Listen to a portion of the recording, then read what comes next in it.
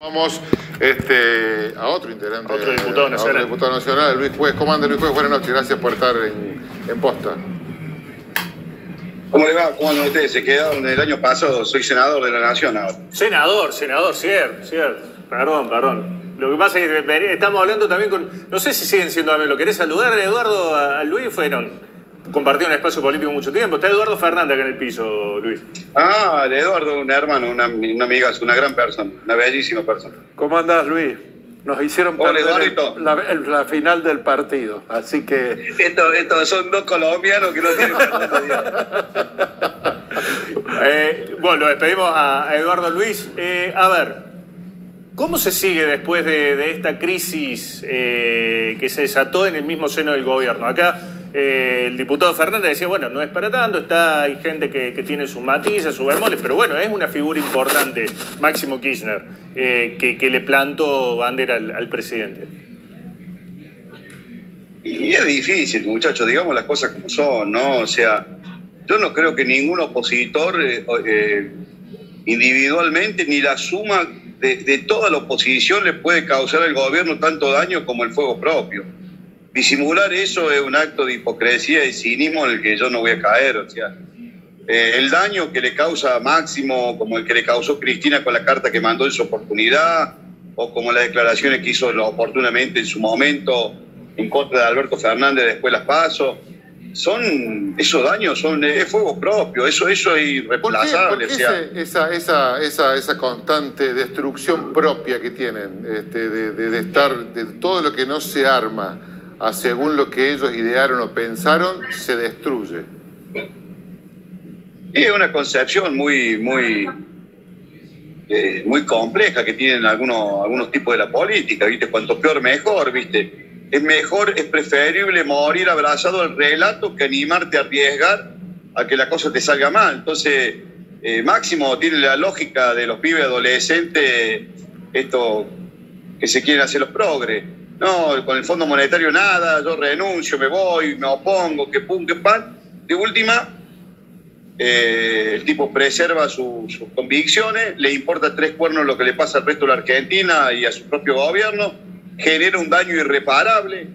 Porque si está, está mira muchachos, si está, de si está en desacuerdo, si es tan grave lo que ha hecho Alberto Fernández, andate a tu casa. No es que renuncie a un cargo administrativo como la presidencia de un bloque. Andate a tu casa.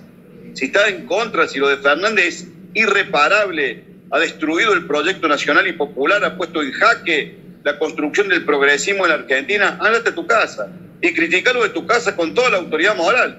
Porque en definitiva lo que terminás renunciando es nada más que a una, eh, a una actividad administrativa como la presidencia de un bloque, que inclusive es cómoda, porque no quiero hablar mal de nadie, pero el presidente del bloque máximo llegaba a las 6 de la mañana, cuando los debates eran toda la noche, hacía el cierre y se iba, ¿viste? O sea, el resto de lo que se tenían los trapos, como dicen los que vamos a la cancha, eh, eran los Alberto, los Eduardo Fernández, ¿viste? O sea, Luis, las ¿Qué, qué escuchado se dice en el Senado? De- de- ¿Habló, hay algún mensaje que esté dando vueltas del bloque de- del, del Frente de Todos, de Cristina Fernández? ¿Qué, qué se habla? ¿Qué se dice ahí?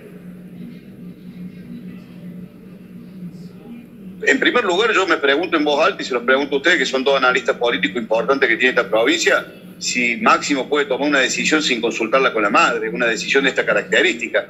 Estas no son decisiones que vos tomás en soledad.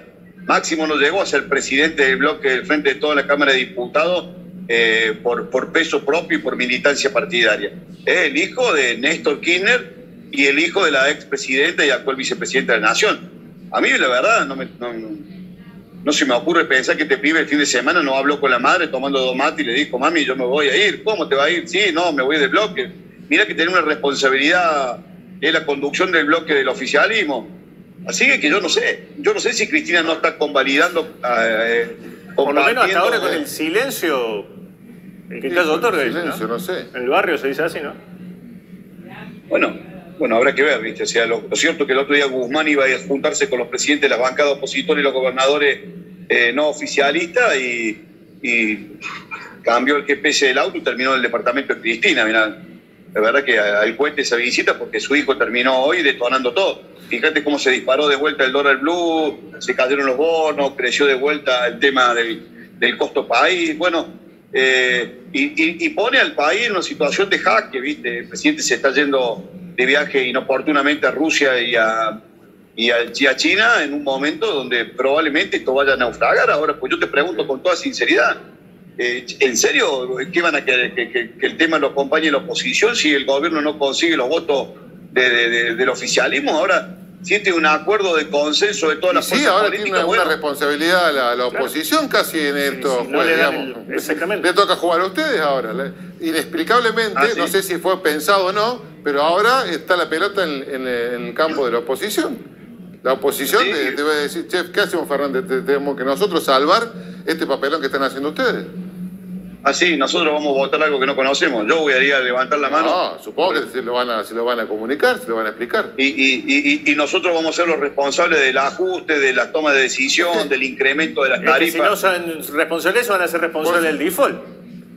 Pero esto, esto, eh, ahí te das cuenta del nivel de cobardía de Y algunos sí, y sí, por supuesto. se Sí, no, bueno, pero digamos las cosas como son. Pero por Entonces, supuesto, de- es una persona, el acto de- Máximo Kirchner es una persona que no quiere asumir su responsabilidad de tener que firmar un acuerdo peor que el que firmó, o, o- o qué- qué sé yo, quizás no tan este, duro como el que firmó su padre, no lo quiere firmar, no quiere quedar frente a su gente de esa manera, pero bueno, ahora la responsabilidad, lamentablemente, para lo que queda en Argentina, es tanto del presidente como de- de- del rol que puedan ejercer ustedes en el cual en lo que se vote, en lo que se debata dentro del Congreso, tanto en diputados como en senadores. Eh, Luis, a usted le, queda un rol fundamental en un, este, lugar en donde la presidenta, en donde quien toma decisiones, quien es la vicepresidenta de la Nación, la presidenta del Senado, no sabemos hoy qué piensa.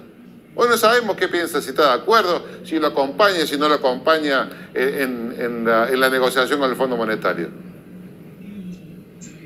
No, pero no me transfiera a mí una responsabilidad que no es mía. No, yo no voy a tomar ninguna decisión que no tenga la convicción absoluta que lo que estoy haciendo es lo que corresponde.